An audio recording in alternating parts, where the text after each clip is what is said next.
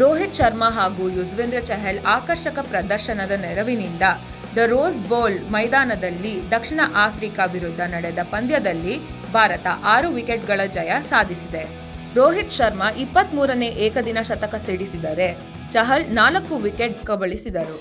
ಇದರೊಂದಿಗೆ ವಿರಾಟ್ ಕೊಹ್ಲಿ ಪಡೆ ಟೂರ್ನಿಯಲ್ಲಿ ಗೆಲುವಿನಿಂದ ಶುಭಾರಂಭ ಮಾಡಿದೆ. ಕ್ರಿಸ್ಟಿಯಾನೋ ರೊನಾಲ್ಡೋ ಬಾರಿಸಿದ ವೃತ್ತಿ ಜೀವನದ ಐವತ್ಮೂರನೇ ಹ್ಯಾಟ್ರಿಕ್ ಗೋಲಿನ ನೆರವಿನಿಂದ ಪೋರ್ಚುಗಲ್ ತಂಡ ಫೈನಲ್ ಪ್ರವೇಶಿಸಿದೆ. ತವರಿನಲ್ಲಿ ನಡೆದ ನೇಷನ್ಸ್ ಲೀಗ್ ಟೂರ್ನಿಯಲ್ಲಿ ಪೋರ್ಚುಗಲ್ ತಂಡ ಮೂರು ಒಂದು ಅಂತರದಲ್ಲಿ ಸ್ವಿಟ್ಜರ್ಲ್ಯಾಂಡ್ ವಿರುದ್ಧ ಗೆಲುವು ದಾಖಲಿಸಿದೆ.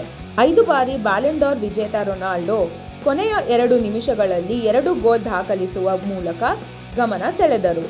ಇದೀಗ ಪೋರ್ಚುಗಲ್ ಫೈನಲ್ನಲ್ಲಿ ಪ್ರಶಸ್ತಿಗಾಗಿ ಇಂಗ್ಲೆಂಡ್ ಇಲ್ಲವೇ ನೆದರ್ಲ್ಯಾಂಡ್ ವಿರುದ್ಧ ಸೆಣಸಲಿದೆ. ಕೊನೆ ಗಳಿಗೆಯಲ್ಲಿ ಬಾಂಗ್ಲಾದೇಶದ ಬಿಗಿ ಹೋರಾಟದ ಹೊರತಾಗಿಯೂ ನ್ಯೂಜಿಲೆಂಡ್ ಎರಡು ವಿಕೆಟ್ಗಳ ರೋಚಕ ಜಯ ದಾಖಲಿಸಿದೆ. ತೊಂಬತ್ತೊಂದು ಎಸೆತಗಳಲ್ಲಿ ಎಂಬತ್ತೆರಡು ರನ್ ಬಾರಿಸಿದ ರಾಸ್ ಟೇಲರ್ ಪಂದ್ಯದ ಶ್ರೇಷ್ಠ ಗೌರವಕ್ಕೆ ಭಾಜನರಾದರು.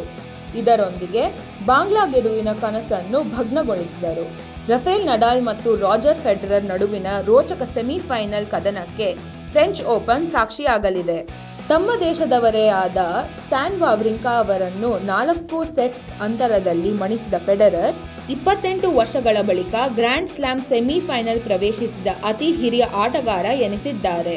ಮೂವತ್ತೇಳು ವರ್ಷದ ಫೆಡರರ್, ಮಹತ್ವದ ಕೂಟದಲ್ಲಿ ನಲವತ್ಮೂರನೇ ಬಾರಿಗೆ ಸೆಮಿಫೈನಲ್ ಪ್ರವೇಶಿಸಿದ್ದಾರೆ. ಇನ್ನು ಫ್ರೆಂಚ್ ಓಪನ್ನಲ್ಲಿ ಫೆಡರರ್ ಎಂಟನೇ ಬಾರಿಗೆ ಪ್ರವೇಶಿಸಿದ್ದಾರೆ. ಹಾಲಿ ಚಾಂಪಿಯನ್ ಆಸ್ಟ್ರೇಲಿಯಾವಿಂದು ಟ್ರೆಂಟ್ ಬ್ರಿಡ್ಜ್ನಲ್ಲಿಂದು ವೆಸ್ಟ್ ಇಂಡೀಸ್ ವಿರುದ್ಧ ಸೆಣಸಲಿದ್ದು ಐಸಿಸಿ ವಿಶ್ವಕಪ್ ಟೂರ್ನಿಯಲ್ಲಿ ಅಗ್ರಸ್ಥಾನದ ಮೇಲೆ ಕಣ್ಣಿಟ್ಟಿದೆ.